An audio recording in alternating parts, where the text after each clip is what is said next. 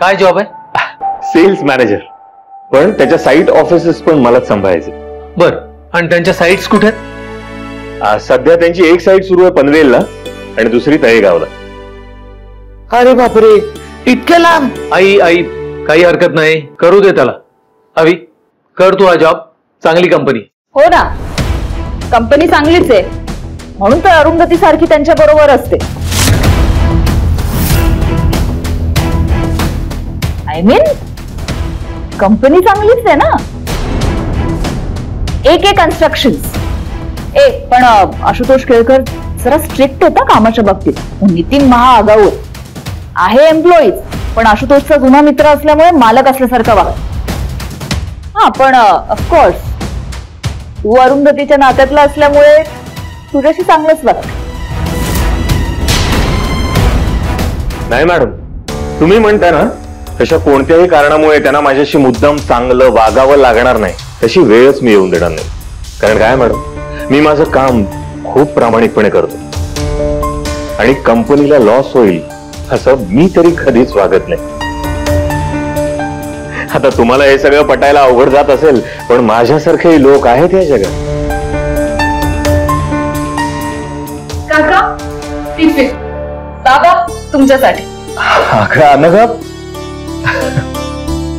खरं घेऊन जातो. म्हणजे तुम्हाला नको होता का? अगं नाही नाही. तू आता केलाच आहेस तर मी नक्कीच घेऊन जाणार तू. नको करत जाऊस राजा एवढं. सवय नाहीये मला.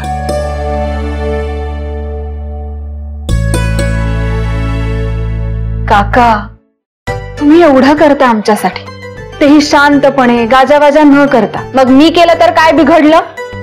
नवीन जॉब साठी all the best thank you काका all the best thank you thank you so much बरं चल आता निघतो हं? आई अप्पा निघतो. यावी. All the best thank you दादा.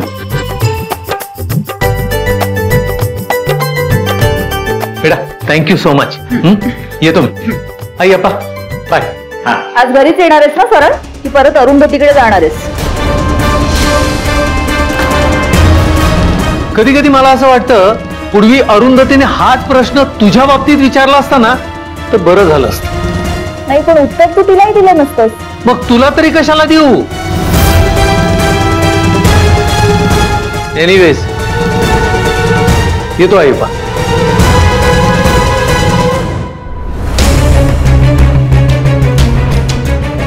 म्हणजे अरुंधतीने याला प्रश्न विचारले नाहीत हेही तिचं चुकलं. आई तुमचा मुलगा जगात काहीही झालं तरी कधीच स्वतःची चूक मान्य करतच नाही का हो? हा?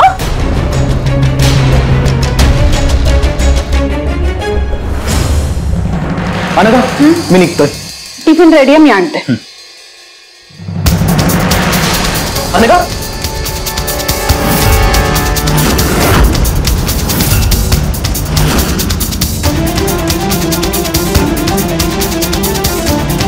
अनघा काय होतंय? अरे बसवा तिला.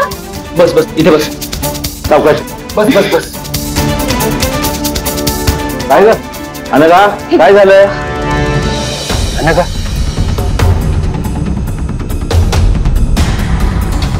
अनघा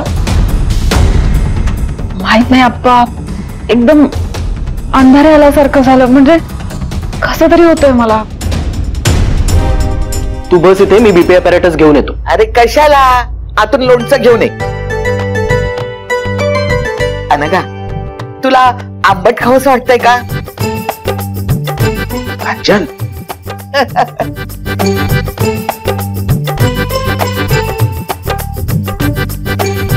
असं काय बघताय? अनघा मी पणजी होणार आहे का ग?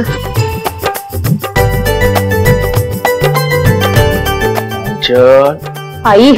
अनघा तू वर चल. वर जाऊन आराम कर. चल. चल.